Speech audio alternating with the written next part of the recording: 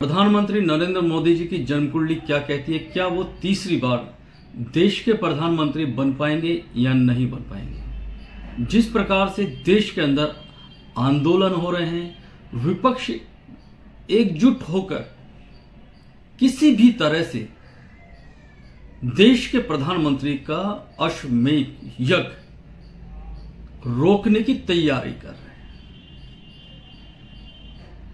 क्या मोदी जी की जन्म कुंडली में उनके जो अभी दशा चल रही है, गोचर चल रहा है, और देश की जो जन्म कुंडली है, जिसको मैदनीय ज्योतिष कहते हैं, उसके आधार पर मोदी जी विपक्ष को धाराशाही कर पाएँगे या नहीं कर पाएँगे। दोस्तों, नरेंद्र मोदी जी की जन्म कुंडली में मंगल की महादशा चल रही है। और वृश्चिक लगन और वृश्चिक राशि, ये देश के प्रधानमंत्री नरेंद्र मोदी जी की बनती मैंने नरेंद्र मोदी जी की जन्मकुंडली के बारे में कई बार चर्चा की और जो मैंने भविष्यवाणी उनके बारे में की, अभी तक वो सत्य साबित होती हुई आई है। और इस बार की जो मेरी भविष्यवाणी है वो पहले से भी ज़्यादा यहाँ पर मैं कहूँगा, मैं इसको इस वीडियो के अंदर आपको डेप्थ में बताऊँगा। सबसे पहले हम चर्चा कर लेते हैं विपक्ष के बारे में।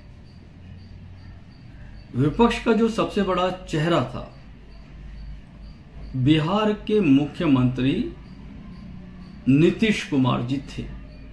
और इस बारे में जब इंडिया नाम से गठबंधन बना, पूरा देश और विपक्ष ये कह रहा था कि जो इंडिया गठबंधन बना है, इस बार भारतीय जनता पार्टी और मोदी जी को जमकर टक्कर देंगे और उनको प्रधानमंत्री नहीं बनने दे जाएगा दोस्तों, मैंने उस समय कहा था कि मोदी जी के जिस प्रकार के ग्रह नक्षत्र और गोचर चल रहे हैं, उसमें मोदी जी सभी को धाराशाही कर देंगे।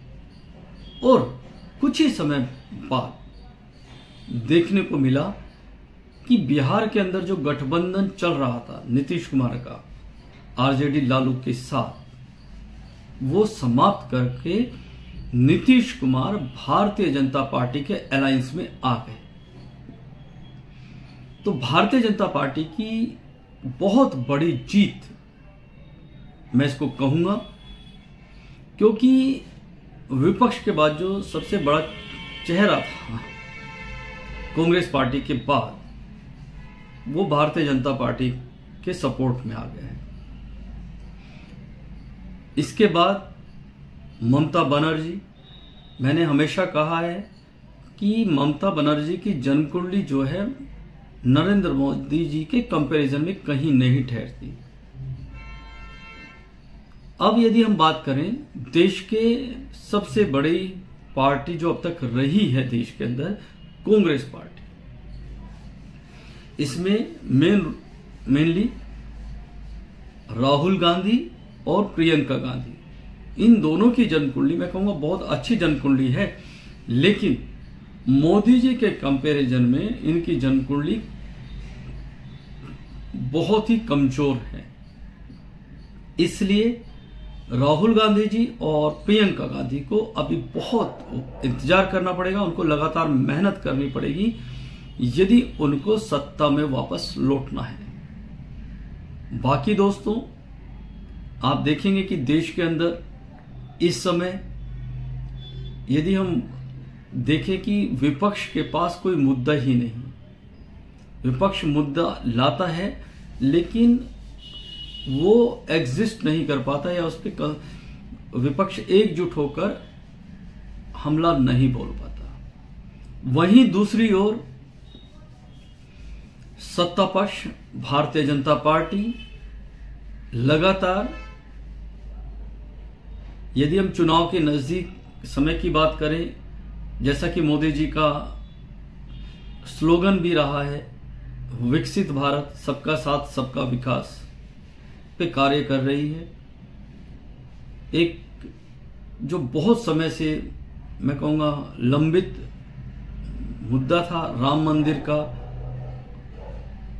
उसका भी उद्घाटन हो गया है। और विदेश के अंदर जो कि अभी ट्रेंडिंग भी चल रहा है। आबू धाबी के अंदर सनातन धर्म के लिए बहुत बड़ी, मैं कहूँगा कि खुशी की बात है कि वहाँ पर भी मंदिर का निर्माण हो गया है। और इसका जो श्रेय जाता है, वो देश के प्रधानमंत्री नरेंद्र मोदी जी को जाता है। अभी बहुत सारे मुद्दे हैं जो कि Bharatiya Janata party step by step. देश के लिए और भारतीय जनता पार्टी के लिए मैं कहूँगा शुभ संकेत है। बहुत सारे दर्शकों ने यह भी जानना चाहा था कि क्या तीसरी बार देश के प्रधानमंत्री बनेंगे तो निश्चित रूप से नरेंद्र मोदी जी तीसरी बार देश के प्रधानमंत्री बनने जा रहे हैं। जहाँ तक सीट की बात है कि कितनी लोकसभा में सीट मिलेगी तो मेरी भविष्यवाणी यह है कि लगभग जितनी सीटें पहले मिली थी, उससे थोड़ा बहुत ऊपर नीचे सीट होंगी, लेकिन एब्सल्यूट मेजोरिटी में भारतीय जनता पार्टी की सरकार बनेगी। नरेंद्र मोदी जी तीसरी बार देश के प्रधानमंत्री बनेंगे दोस्तों, हमने बहुत सारे वीडियोस, देश की भविष्यवाणी, विदेशी भविष्यवाणी की है।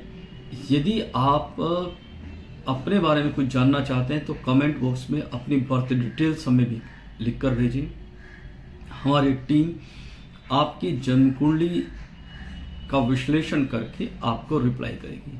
दोस्तों, यदि आप किसी पर्टिकुलर टॉपिक पर वीडियो देखना चाहते हैं तो हमें कमेंट बॉक्स में वो लिख कर भेजें।